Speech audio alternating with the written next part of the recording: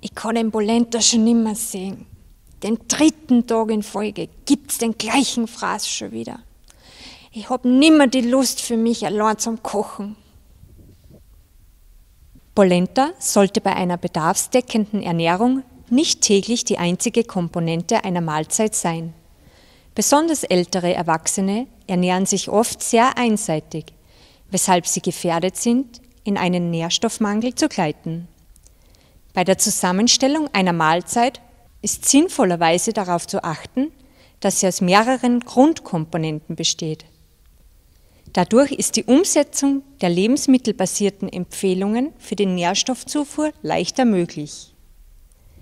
Jede Mahlzeit besteht im Idealfall aus drei Lebensmittelgruppen, wie anhand unseres Beispiels dargestellt.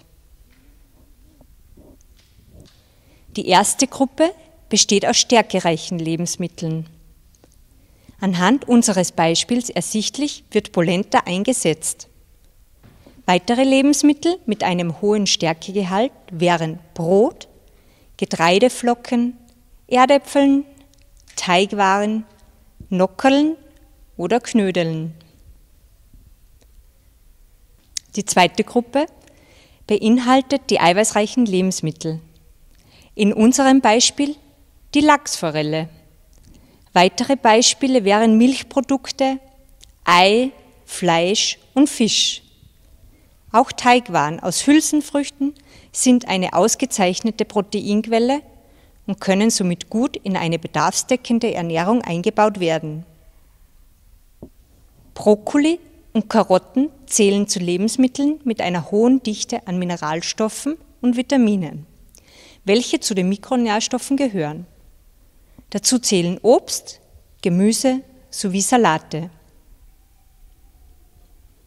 In diesem Video konzentrieren wir uns hauptsächlich auf Gruppe 2 und Gruppe 3 des Tellermodells, spezifisch auf eiweißreiche und kalziumreiche Lebensmittel.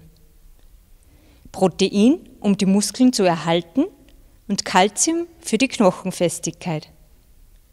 Konzentrieren wir uns nun auf das Protein. Herzlich willkommen bei uns im Studio. Mein Name ist Anna Mitterbacher und ich darf unseren Experten, Herrn Dominik Birker, bei uns begrüßen. Er ist Experte für die Ernährung im Alter ab 65 und wird uns heute Erläuterungen zum Thema Proteine und Kalzium bringen. Schönen guten Tag und danke für die Einladung. Herr Birker, können Sie uns erklären, warum der menschliche Körper Proteine benötigt? Durch eine ausreichende Versorgung an Protein ist der Körper in der Lage, aus den Aminosäuren körpereigenes Protein zu bilden. Aminosäuren dienen als Vorstufe für die Bildung von beispielsweise Histamin und Serotonin.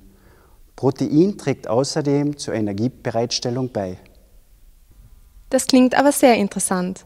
Wie viel Protein benötigen ältere Menschen und ändert sich das im Verlauf des Lebens?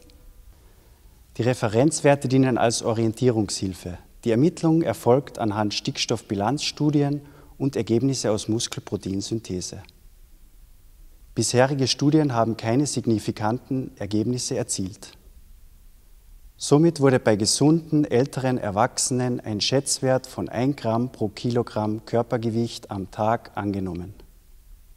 Laut österreichischen Ernährungsbericht 2012 weisen ältere gesunde Frauen ein durchschnittliches Körpergewicht von 74,2 und gesunde ältere Männer ein Körpergewicht von 80,7 Kilo auf. Dies ergibt eine tägliche Proteinaufnahme von 80,7 Gramm bei Männern und 74 Gramm bei Frauen. Danke für diese ausführliche Beschreibung, Herr Birker. Könnten Sie uns noch erklären, durch welche Lebensmittel der Eiweißbedarf gedeckt werden kann? Es gibt sowohl tierische als auch pflanzliche Proteinquellen. Tierische Proteinquellen wären zum Beispiel Milch und Milchprodukte, Eier, Rindfleisch und Putenfleisch. Zu den pflanzlichen Proteinquellen zählen zum Beispiel Hülsenfrüchte wie Linsen, Erbsen und Sojabohnen sowie Champignons und Brokkoli. Hülsenfrüchte sind ausgezeichnete Proteinquellen. Sie erhöhen das Sättigungsgefühl und führen zu einem mäßigen Anstieg des Blutzuckerspiegels. Dazu zählen neben Kichererbsen, Linsen und Bohnen die in der Steiermark beheimatete Käferbohne. Auch Teigwaren aus Hülsenfrüchten erfreuen sich immer größerer Beliebtheit. Mit einem beinahe doppelt so hohen Anteil an Proteinen im Vergleich zu Hartweizenprodukten sind sie auch besonders gute Proteinquellen. Beim Verzehr von Hülsenfrüchten ist es außerdem wichtig, genügend Wasser zu trinken. Aber unter einem Gramm Eiweiß pro Kilo Körpergewicht kann ich mir jetzt nicht viel vorstellen. Könnten Sie praktische Beispiele bringen? Natürlich, nehmen wir eine fiktive Person mit 65 Jahren und einem Körpergewicht von 85 Kilogramm. Der Tagesbedarf an Protein beträgt somit 85 Gramm pro Tag. Zur Bedarfsdeckung haben wir für Sie einen Tagesspeiseplan erstellt.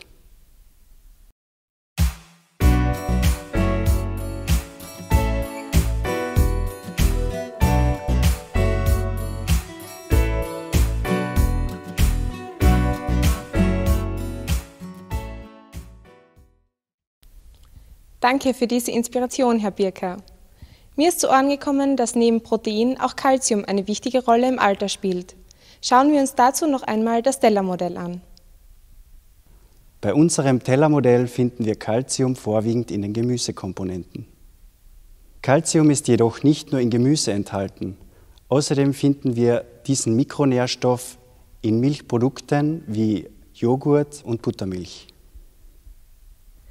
Wir haben jetzt gehört, dass Calcium in vielen Lebensmitteln enthalten ist. Aber warum ist Calcium für den Menschen so wichtig? Calcium übernimmt in unserem Körper viele wichtige Aufgaben. Es stärkt das Skelett, das Knochengewebe und die Zähne. Weiters spielt Calcium als Signalübermittler innerhalb der Zellen eine wichtige Rolle. Nun haben wir einiges über die Bedeutung von Calcium gehört. Aber wie sieht es mit den Referenzwerten für ältere Personen aus? Der Kalziumbedarf für Erwachsene liegt bei 1000 Milligramm pro Tag. Dies gilt auch für ältere Erwachsene. Können Sie uns auch hier konkrete Lebensmittelbeispiele zur Bedarfsdeckung nennen? Der Bedarf von 1000 Milligramm kann mit Hilfe von einem Viertel Liter Milch, drei Scheiben Emmentaler oder zwei Scheiben Gouda gedeckt werden. Jedoch gibt es einige Faktoren, die die Kalziumaufnahme hemmen können. Herr Birker, was wären Beispiele für hemmende Faktoren? Das wären zum Beispiel ein Mangel an Vitamin D, Oxalsäure, Phytinsäure oder bestimmte Medikamente. Das ist ja interessant zu wissen. Somit hätten wir auch geklärt, warum es nicht sinnvoll ist, jeden Tag Polenta zu essen. Es trägt nicht zur optimalen Bedarfsdeckung der Mikro- und Makronährstoffe bei. Gibt es eine Möglichkeit, die Ernährung von älteren Erwachsenen anzupassen?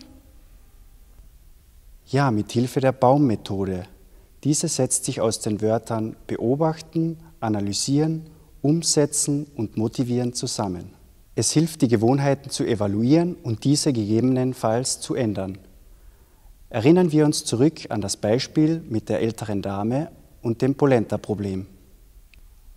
Das B in Baum steht für Beobachten.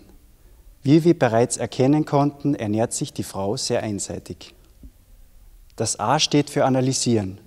Die Frau ist alleinstehend und es ist ihr nicht mehr möglich, regelmäßig frisch zu kochen. Außerdem fehlt es ihr an Motivation. U steht für umsetzen. Hier gibt es mehrere Möglichkeiten. Zum Beispiel könnten Familienangehörige für die Dame kochen. Oder sie bildet Kochgemeinschaften und kocht mit Angehörigen oder Freunden. Eine weitere Möglichkeit wäre es, eine Gemeinschaftsverpflegung in Anspruch zu nehmen. Diese Möglichkeit sollte jedoch als letzter Ausweg gewählt werden. Das M steht für motivieren.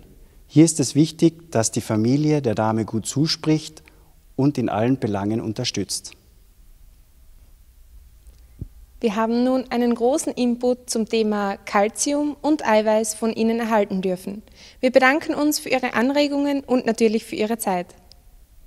Ich bedanke mich für die Einladung und möchte noch einen Schlussgedanken mit auf den Weg geben. Eine Calcium- bzw. proteinreiche Ernährung kann helfen, den Abbau von Muskelmasse bzw. dem Skelett zu verringern. Die Bedürfnisse von älteren Erwachsenen sollten jedoch berücksichtigt werden.